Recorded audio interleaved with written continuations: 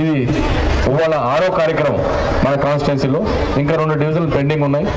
మరి ఈ విధంగా ఆదరణ లభిస్తుందని ఎవరు అనుకోలేదు. దీని అన్నిటికీ దీని అన్నిటికి కారణం మరి మన ముఖ్యమంత్రి కేసీఆర్ గారే. మరి బతుకమ్మ పండుగ అనగానే ఎన్నో కోట్లు డబ్బులు ఇవ్వటం మరి ఎవరికి కూడా ఇబ్బంది లేకుండా అన్ని సౌకర్యాలు కల్పించడం ఈ విధంగా చేయడం జరిగింది.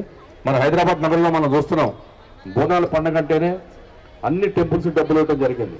మరి అదేవిధంగా రంజాన్ కానీ క్రిస్మస్ కానీ కుల మత విభేదాలు లేకుండా అన్ని పండుగలు కూడా ఒక్క టీఆర్ఎస్ ప్రభుత్వంలోనే జరుగుతున్నాయి. మరి బతుకమ్మ అనగానే బతుకమ్మ చీరలు గుర్తుకొచ్చినాయి.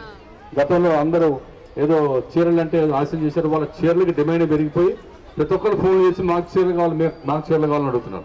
మరి అంత బ్రహ్మాండమైన చీరలు రావటం జరిగింది బతుకమ్మది.